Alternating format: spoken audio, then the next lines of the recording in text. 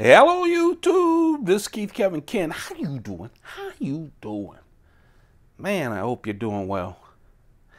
It is Friday, TGIF day. Finally, it's the weekend. It's Good Friday too. It's good for me because I took the day off. That's why this, for those of you who watch these semi daily, that's why this is being posted so late. My fingers are crossed. I'm hoping that I get four brand new Spydercos tomorrow, Saturday.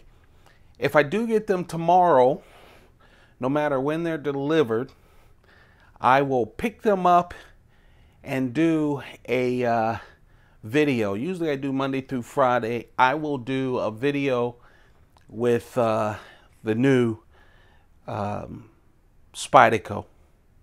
Okay? That'll be tomorrow, Saturday. Then Sunday's Easter. Then we'll do Monday and Tuesday. So anyway, I hope you guys are doing well. No matter when you watch this, you my probably most people are watching this in the future, so everything I just told you, you don't care. you probably can find the new Spydercos that I was referring to on the uh, playlist. The watch today, since it's Friday, is my Rolex Precision. Precision Rolex. No, this isn't the official brand uh, band. Every time I talk about this, this isn't the same band. You know, someone wanted to surprise me and get me a new band, so they snuck out this watch, took it to the watchmaker, got a decent band, skinny band, but they took all the hardware with them. Whenever you do if you're new to watches and you get a nice watch and but you want a new band, get the new band, but keep the hardware. Tell them to replace the hardware on the band with the hardware that you have, the original stuff. Ah, hold on. Ah. Oh my goodness. Just a wonderful Cuban Partagas you know, um, a Cuban part Partagas Series P number two. Series P number two. Oh, I love this cigar. I I got a question. It was on my email, so usually I don't go back and forth on my email. Um, on the email that I give for when I do uh, knife trimmings, um, saying, "Hey, I don't smoke cigars." What recommendation would you have for a new cigar smoker? First, I'm not pushing cigar smoke, but I love smoking cigars. That's there is a difference, okay? There is a difference. I think nowadays we're losing that difference. My preference as a grown man who will be 60 in July, okay? Um, but get something milder. Don't spend the money on a Cuban. Don't find a Cuban. Don't get a fake Cuban. as long as it's a handmade cigar, get a handmade cigar. It has to be in a humidor when you buy it.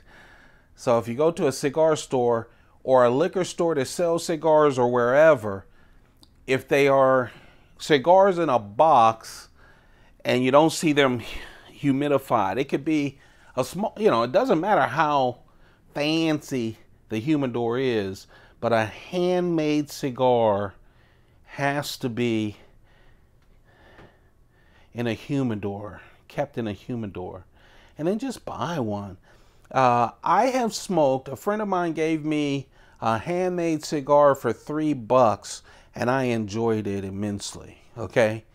Um, so, you know, I would say because there's so many brands and everything. But I would say, you know, ask the person what's a nice mild smoke and get that.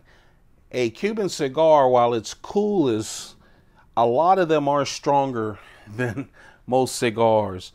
Um, and there are mild cigars and not so mild cigars. This is the black coated DLC shown design pin. Whoops. Today, I'm trying some whiskey. You know, Um, I don't do whiskey a lot unless friends have it. Uh, so I have a bottle here that I haven't tipped, so I put it here. Um, even though, and I say this often, uh, this is one of my coach uh, skinny wallets. I say this often. Um, how I do it, and as you get older, you'll see that you have to trick yourself, right? You know all of your vices drinking, smoking. Oh, I have a million vices. but um, I usually start with this first. So I don't smoke during, I mean, I don't drink during work or smoke a cigar during work. It's after. And then if I get home and I find I have a full bottle uh, left here, I start with that. Then I pause and then I pour more out of a bottle. That little pause, sometimes I'll fall asleep or get involved in something else, and it just helps me to not try to empty a bottle all the time. um, the coin for today, I don't know. I, I, I, all of these, I think I've shown you. I, I have a couple of coins I haven't shown you because every time I try, they look like crap. Um, on they are beautiful coins, but look like crap on the camera. But I've got to start getting a better system so that I go through all of the hundreds of coins that I have. Um, this one is from, uh, where's that date at? Oh, there's the date. Sorry.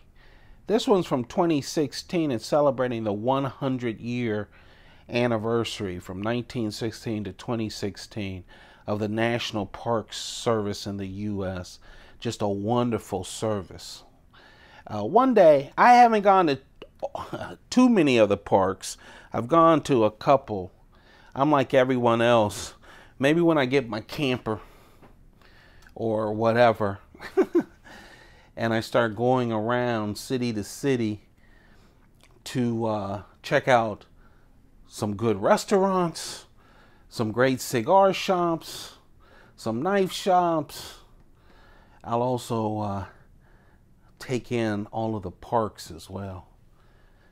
Uh, my notepad, my Word notepad that I got off of Amazon. I keep going to Amazon. They have so many different they have so many different colors and stuff, and that's why I like them. I'll tell you, I am in love with this little sucker. I know I carried it not too long ago as my keychain knife. You know, when I have, I carry two knives, one a keychain knife and then another knife. The reason you see three is I always have the knife that I've been playing with in the morning that almost makes the carry but doesn't. I have fallen in love with this thing. This is like a mighty mouse, you know? Um, this little McBee. It's the Spyderco McBee. This little knife that is built like a tank and just comes in. So, it's so handy and so beautiful in its simplicity. Seriously.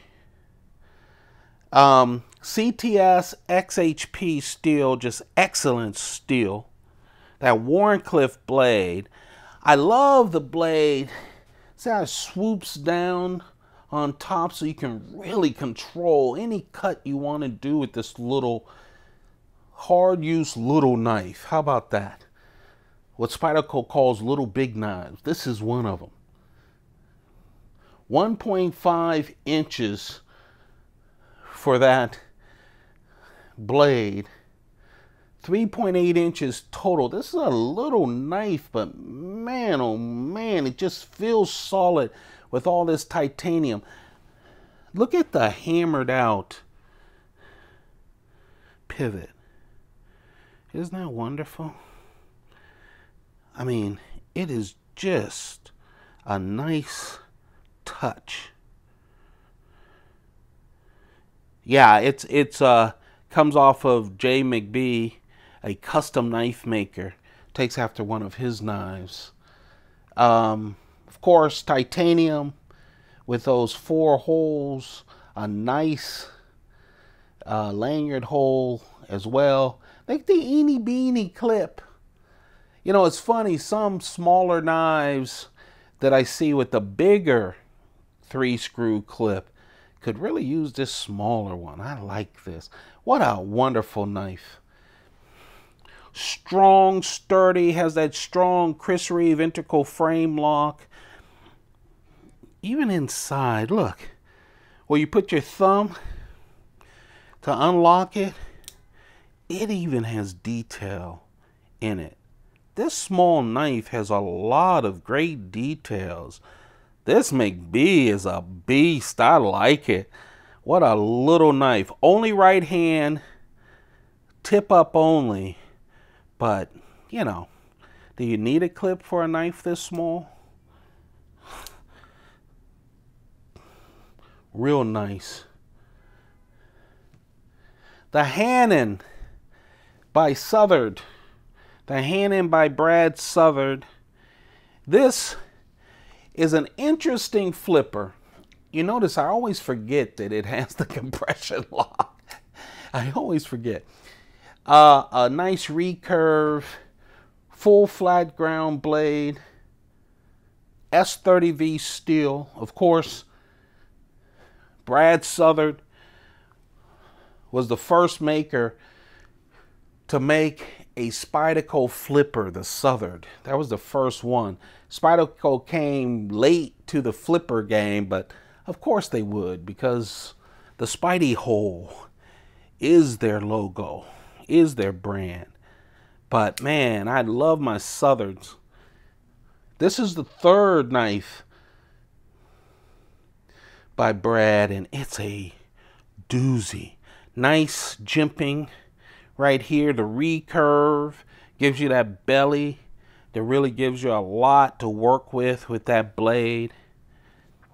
Titanium bolsters. Smooth G10. Spyderco does smooth G10 better than anyone.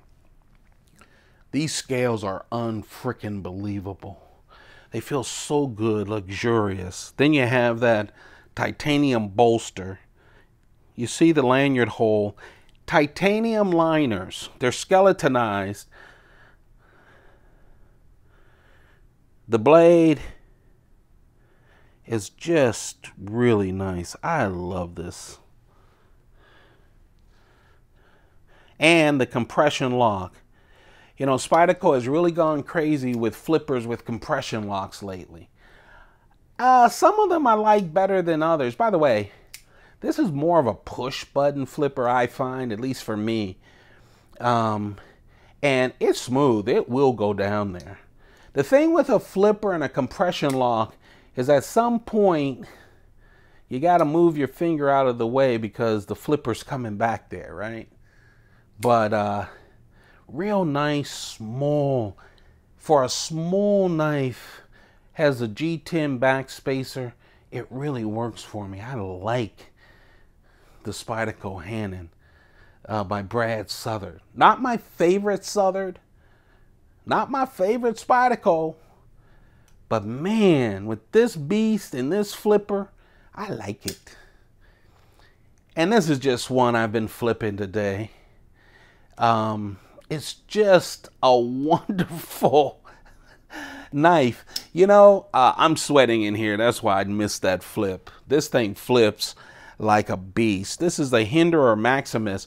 Comes in all kinds of colors and combinations of materials. For me, it's carbon fiber with titanium that is anodized copper and then these copper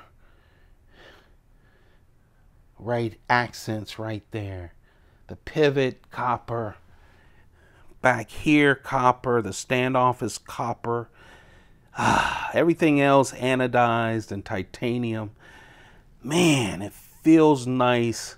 This is a beast of a knife and smooth as silk. Dagger. CPM 20 CV steel, so great steel. CPM CV 20 CV steel, 8.5 inch blade, The edges, edges, because there are two of them, 3.1 inch. The total length, 8.1 inch long, 4 ounces in weight. You can see the clip. You can move the clip so it's right hand, left hand, tip up only. Oh man, I, I've seen so many colors. you know, we're talking about a $425 knife. Uh, so it's not inexpensive. But I tell you, every time I see one of these in the different combinations and the colors, blue and, you know, louder colors and more subtle colors, I literally, yeah, I've got a disease. I literally think of like a cigar box or some fancier box full of about six of these in different colors. I like this, Mr. Hinderer. I really do. It's a real nice knife. Yeah, it's tactical, but two blades, two edges, you know, an EDC knife can be tactical. A tactical knife can be used as an EDC knife, okay? It's not perfect for the other activity, but it's a knife. It's a sharp thing with a point. Come on. We get way too specific in this collection uh, era that we're in, but oh, what a nice knife.